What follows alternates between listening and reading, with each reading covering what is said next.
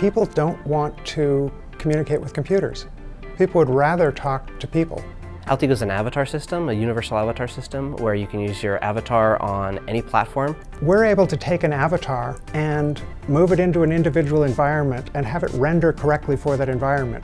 AltEgo is completely web-based. We run completely on Amazon's cloud. We also use Terracotta primarily for caching and for performance and reliability. The problem that we've seen with the cloud is communicating from one region to another. Where Terracotta has come into that is that they've been providing a customized ActiveMQ server that's allowing us to manage the amount of traffic that's going between two nodes of our Terracotta setup.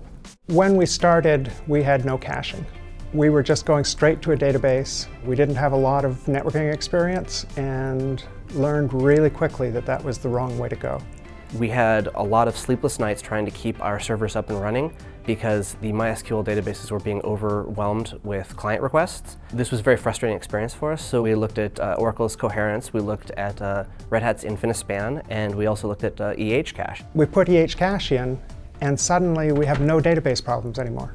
EHCache allowed us to increase our performance, decrease our latency, increase our throughput. Once we found EH cache and realized that it solved our database problems, we then talked to Terracotta and they introduced us to BigMemory. As our data was getting larger and larger, we were noticing increased delays due to the garbage collection. When we started using BigMemory, our garbage collection times went away.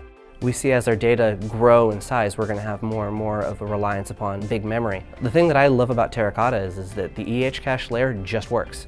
The Terracotta part just works. Anytime we've got a question, anytime we've got a concern, someone's always accessible. We really trust the support people. Because of this relationship, uh, the AltEgo product has become bigger and stronger than it ever has been. So we were crashing all the time. Now that we're running Terracotta, we don't crash at all. We are excited about Terracotta doing as much of our work as possible.